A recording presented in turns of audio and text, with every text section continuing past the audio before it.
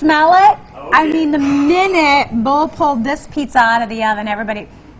It's like, oh, it smells so good. And look how beautiful. Have we not invented smell-o-vision yet, where you can just like No. wave it under the camera? But we need to. We- We, need to. We do need to, because that mm-hmm. smells amazing. Yes. That was a good combination. Well, of course. Yeah, it's yeah. all good. It's all mm-hmm. good. And look Hey. at that meatball sandwich.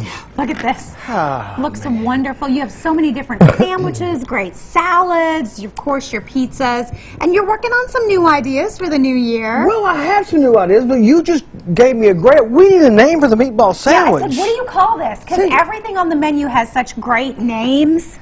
Go on Facebook at Jiggy Ray's and give me a name for the meatball sandwich. 'Cause Give me it- something crazy. We got the Jiggy Rita, we got the Meat Mountain, we got all kinds of cool gobble stuff. gobble. The gobble and gobble. then you've got this beautiful sandwich, and it's just and it's a. just meatball a sandwich. meatball sandwich. How boring is that? Somebody Yeah. help us, please. Yes, I came up with a couple names, but I'm still working on what I'm going to put in.